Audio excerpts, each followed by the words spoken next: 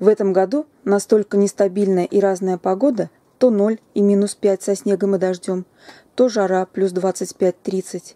Имею в виду этот апрель. То при переносе рассадов томатов в теплицу получила очень неприятный момент, с которым, думаю, сталкиваются многие дачники. Это сильный ожог листьев томатов. Но, к счастью, знаю, как это исправить, и, думаю, знают многие.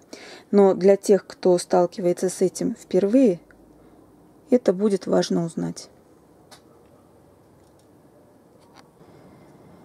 Первым делом, если случилась такая беда, нужно обработать по листьям раствором циркона. И это правда работает. Вот эти томаты были в таком же плачевном состоянии. Я произвела обработку на 10 дней раньше, и уже и следа от ожогов не осталось.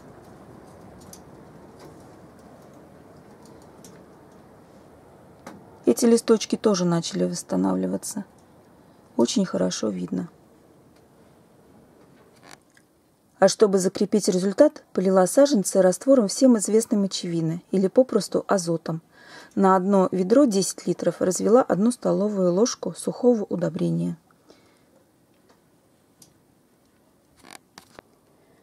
И теперь рассада начала оправляться и расти, так что скоро будет готова для пересадки в грунт. Все обработки делаю в вечернее время по влажной земле. Один раз в две недели, но не чаще.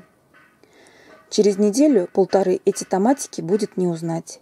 Если кому-нибудь пригодится мой вариант, буду рада. Пишите также свои рецепты в комментариях.